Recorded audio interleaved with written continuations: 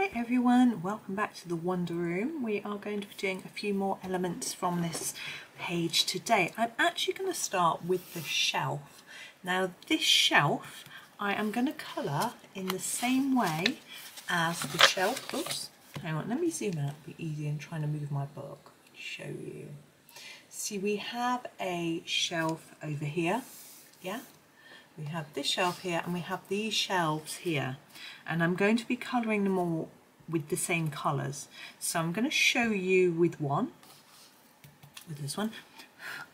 And then um, the rest um, I will do without um, being on film. So we'll start that. Oh, trying to zoom in pressing the wrong button on my remote control let's go back in now I've chosen this particular shelf because um, I'm going to do the a few other elements here. Let's move that down. There we go. So I want it to be slightly different to the rest of the furniture or else I would have just done it when I did the rest of the furniture. I quite like it this shelf to be a little bit warmer in colour. So I am going to grab this colour first. This is the Bistre. We may have used this already for the some of the furniture, but we're going to use it in a slightly different way. So we are going to um, use it for the shaded area. So I'm thinking the uh, edges like that and here. Now this particular shelf we can't see um, on the shelf, but if you've got shelves with elements on them, like this one, let's go here, I would probably do some shadow just in front of the item like that, okay? And uh, just in front of the item here, like that. Okay, and then a little bit still on the edges like we've done on the other shelf. Like, oh, there. Now with this one, we've got these columns as well, and I keep them in the same colour and just do some shadow under each of these bits. Okay, so that's that. Might as well show you how to do it all while we're here.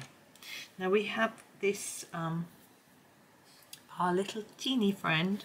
He is a cutie. He is the very lightest brown in the uh, in the polychromos and he is the brown ochre. Okay, so we're going to use oops him to finish off it might make mean the shelf is similar to the floor color i'm leaving my book pushed across at the minute so you can just you'll be able to see um, I'll show you on the other shelf unit too. So I'm going to try and fade it a little bit towards the middle.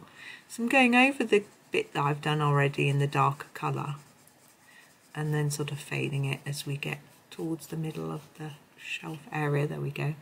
Um, I've actually faded it there. I would have rather have put it in the middle, but hey. And a little bit here on this, as if it's a little wooden dowel, is what I thought it was. You might think it's a gold tack or something. And you can see the effect here too. If you want the darker colour to be more emphasised, you could either not colour over it or um, go back over with some more if you think it's not dark enough okay so I'm just showing you how it will look with my method and then you can decide like that. And so with these what I will probably do is actually make use this colour to make a bit of a shine in the middle. Not massive because it's not metal.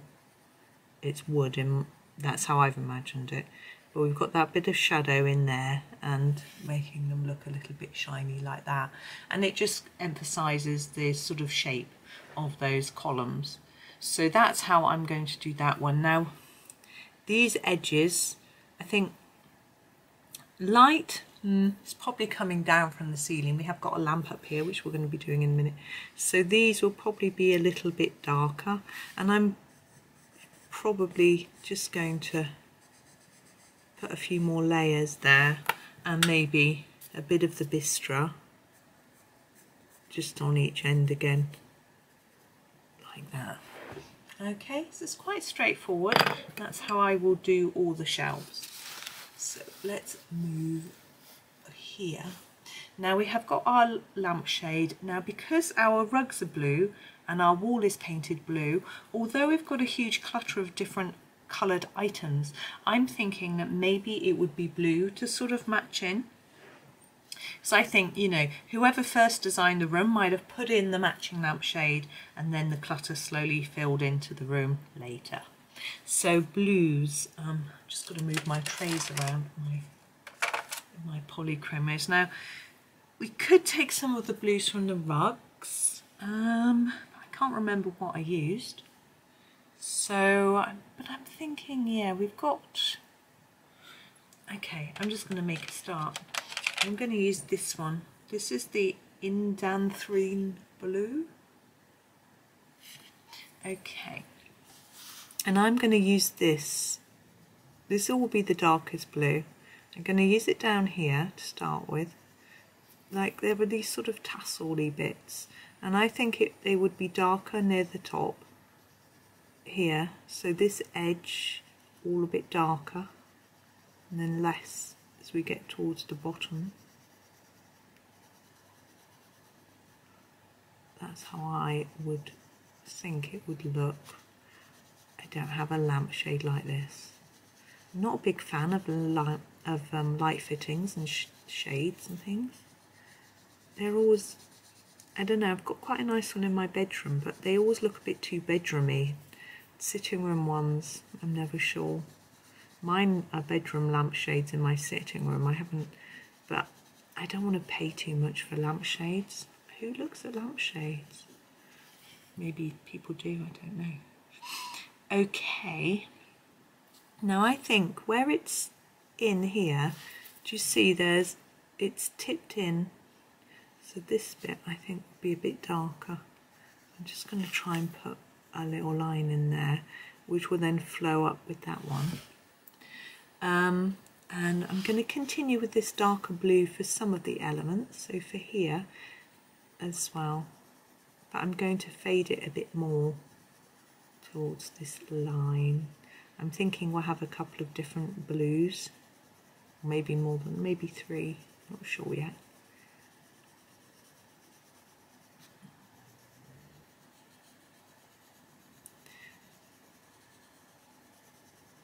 So um, I'm hoping that um, I might be able to finish a few more WIPs or work in progress with you as well. There's a page in um, World of Flowers where we did one side of the double page. I was thinking maybe I will do the other side with you as my next um, little afternoon session of videos. I mean, this room is going to take a little while, but um, as I say, I won't be doing every single bit. Now I'm trying to decide whether to use this dark blue on the back main area of this or whether to just use it on these elements. And I'm thinking actually these are probably holes to let the light through, maybe? I don't know. I think we'll carry on with this one actually and just do it lightly. Because we, uh, I think it looks quite nice if it looks a slightly different shade of blue. It's quite nice with the polys, you can get a lot of different colours out the one pencil just by applying more or less layers and it means you know they're definitely going to match because it's the same colour and that's quite fun.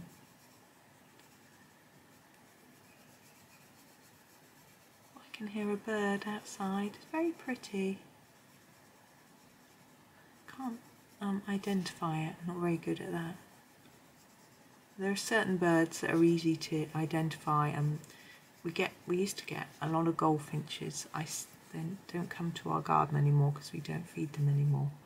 But um, they make a very distinctive pip noise and they are very cute. Um, I'm thinking about where I might want to put extra heavy colour and actually I'm thinking the top because it will be darker here because the light is coming down but is the light switched on? I mean, the candle's lit, so I'm not sure. Okay, I'm going to go for a lighter shade. This one is rather pretty. just give it a sharpen. And I think I use this one for the rugs as well, maybe.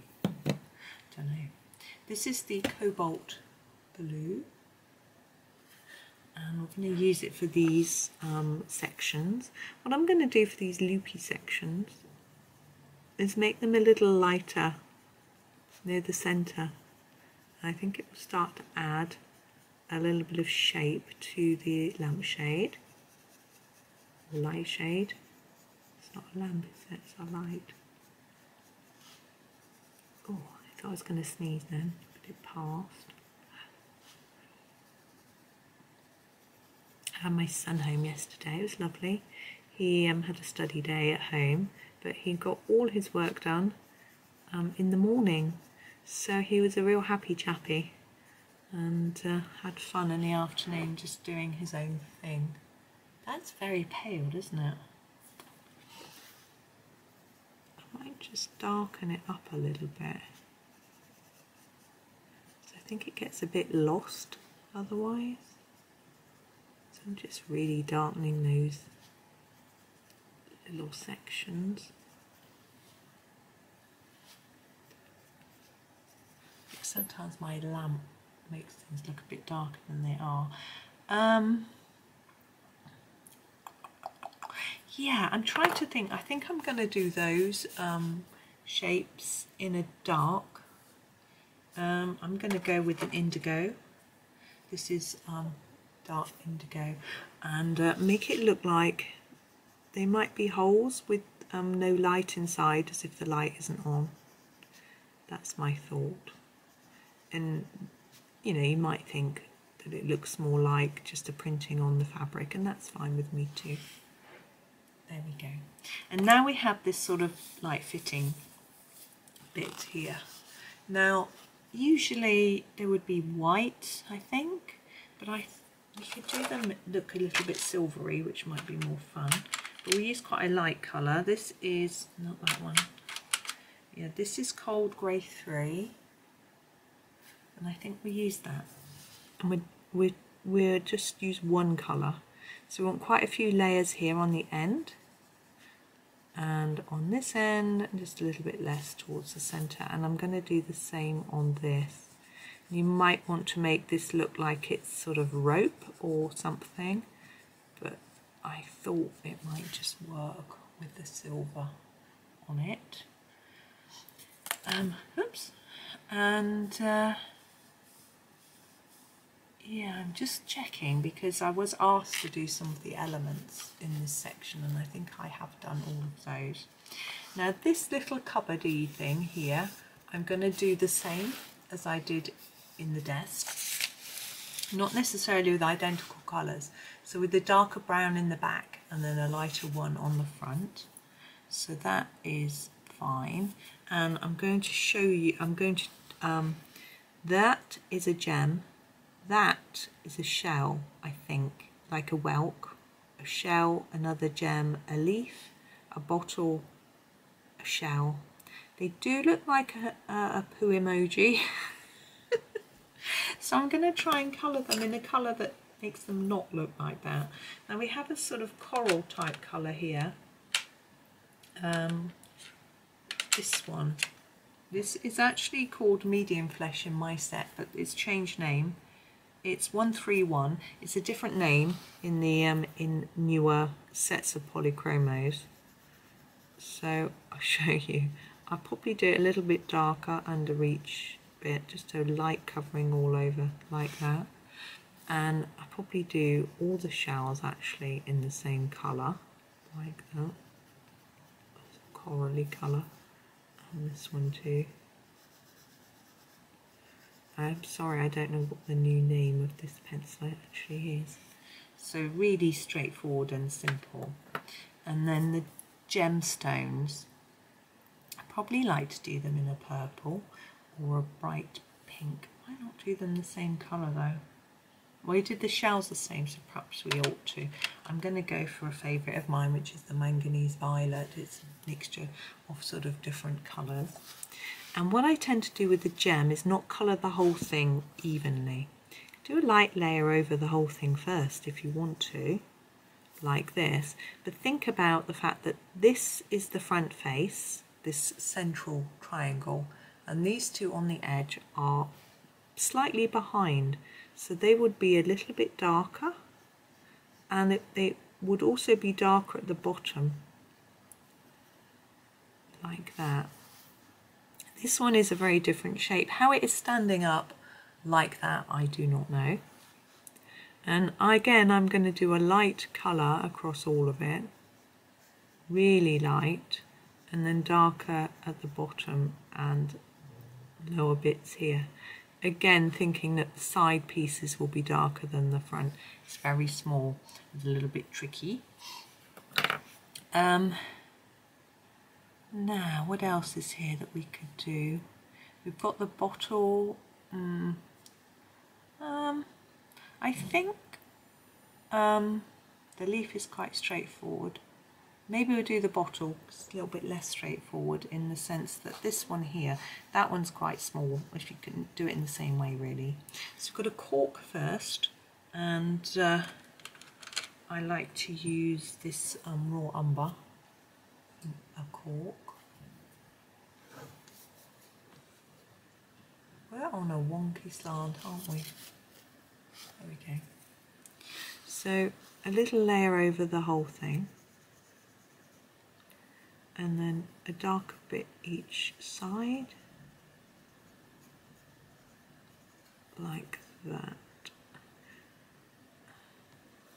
And get a darker brown. I've got here the um, oops the Bistre, Bistre that we were using earlier and put some dots on it because it's cork, cork has little dots. Might not be that visible Okay, now I've got some liquid in this bottle. I'm not sure what it might be. Um, what colour should we do it? We could do it um, a sort of magical looking colour or we could do it just sort of a winey colour. Um, I haven't really got a winey colour. Oh, that might work. This one, this red think might work. This is number 225. I think it's dark red. I'll just check for you. This wants to roll on the floor. Yeah, it's dark red. So we'll go with a dark layer and less as we go towards the centre. And the same here. Okay, so not such a heavy layer and less layers towards the centre of the bottle. Like that. You can fiddle around with it until you feel it's sort of the right uh, amount of colour for you. I'm happy with that. Don't forget to do this top. Be reflecting the light be quite pale. Now the glass um, see-through of course and we have the background there. Now when we did the fish tank we actually did our the water in the fish tank in the sort of blue to sort of reflect the wall colour and we did it a little bit darker and it worked quite well. So this is what I'm going to do here. I'm going to use the cobalt blue which we just happen to have out from doing the lamp. And I'm going to use this blue. So it's a slightly different shade of blue than the wall but it means it stands out a bit really delicate as you get towards the centre. I want to make sure it looks like a shiny bottle still. Mm, that might be a little bit dark. Mm. I am going to go over the top of that with the cold grey one just to tone it down a bit and make it look a bit more glassy.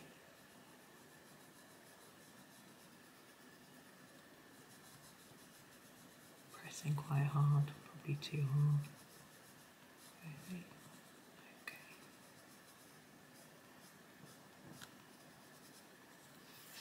Okay. And then we have the label. Now on the label looks like a sunshine to me. Um, so I am going to do yellow. Just thinking, my yellows are all got out of order. This is the dark cadmium yellow and I shall do that for um, this inside bit, I think.